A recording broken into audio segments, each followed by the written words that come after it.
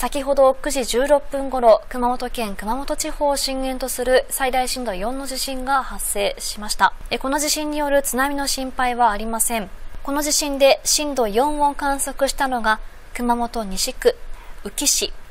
震度3を観測したのが熊本南区、宇土市、氷川町、鹿島町、熊本美里町となっています。その他、九州地方広い範囲で震度2から震度1の揺れを観測した状況です。その他、九州地方広い範囲で震度2から震度1の揺れを観測した状況です。